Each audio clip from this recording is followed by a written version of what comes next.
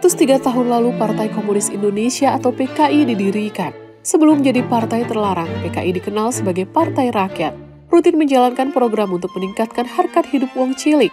Semua program disesuaikan dengan kondisi setiap daerah. Saat terjadi bencana kelaparan di Gunung Kidul pada pertengahan 1950, PKI segera membuat program penanaman singkong di sana. Sementara di Sumatera yang basisnya meliputi buruh-buruh perkebunan, PKI giat memperjuangkan nasib buruh kebun melalui Sarpubri, di timur pun PKI berhasil mendapat dukungan yang besar dari membantu masyarakatnya melawan feodalisme.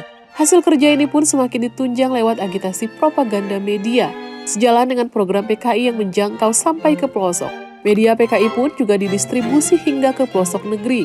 Melalui program kerja dan propaganda yang totalitas, PKI bisa jadi partai terkuat di Indonesia sebelum akhirnya ditumpas habis.